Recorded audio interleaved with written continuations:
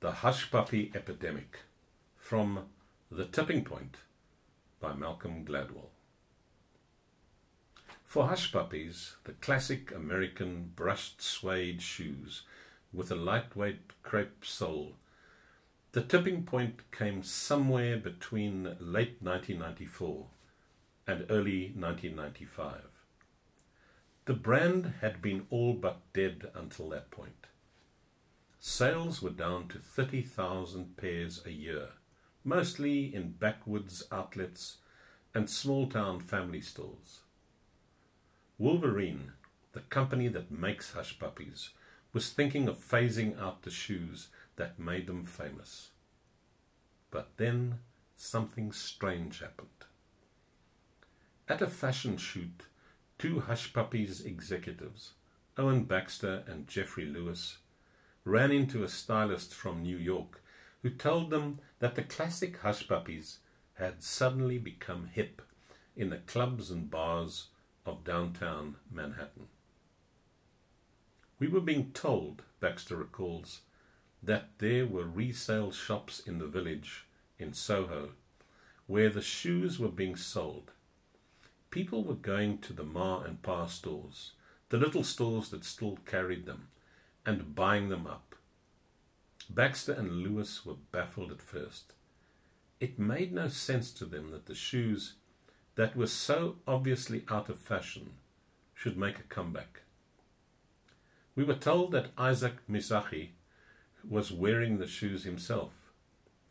Lewis says, I think it's fair to say at the time we had no idea who Isaac Mizrahi was.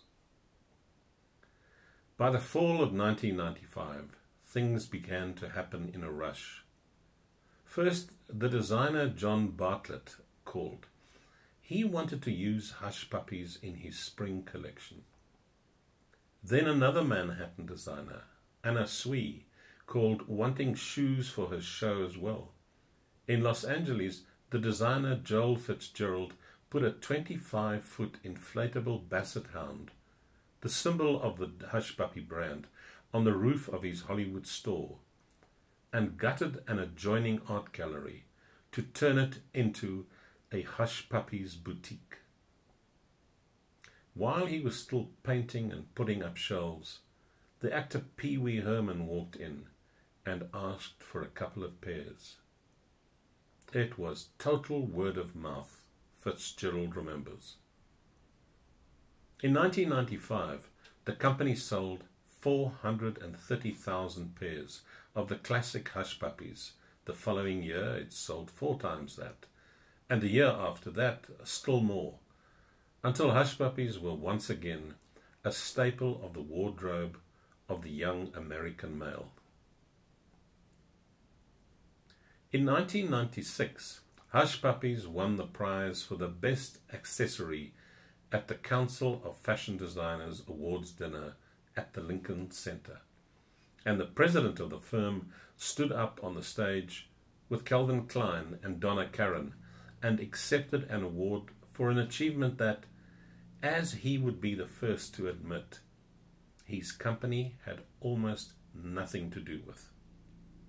Hush Puppies had suddenly exploded, and it all started with a handful of kids in the East Village and Soho. How did that happen? Those first few kids, whoever they were, weren't deliberately trying to promote hush puppies. They were wearing them precisely because no one else would wear them. Then the fad spread to two fashion designers who used the shoes to peddle something else haute couture.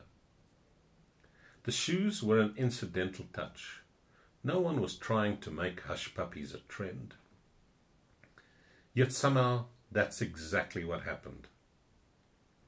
The shoes passed a certain point of popularity and they tipped. How does a $30 pair of shoes go from a handful of downtown Manhattan hipsters and designers to every mall in America in the space of two years? The book, The Tipping Point, is the biography of an idea, And the idea is very simple.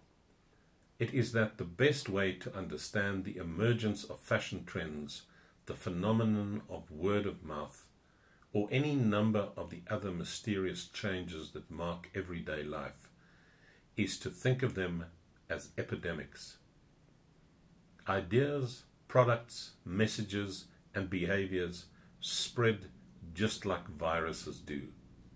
The rise of hush puppies is a textbook example of an epidemic in action. Although this and other examples may sound as if they don't have very much in common, they share a basic underlying pattern. First of all, they are clear examples of contagious behavior. No one took out an advertisement and told people that the traditional hush puppies were cool and that they should start wearing them.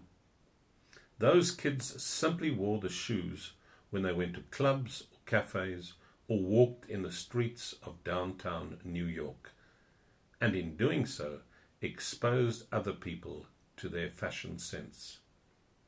They infected them with a hush puppies virus. The second distinguishing characteristic is that little changes can have big effects.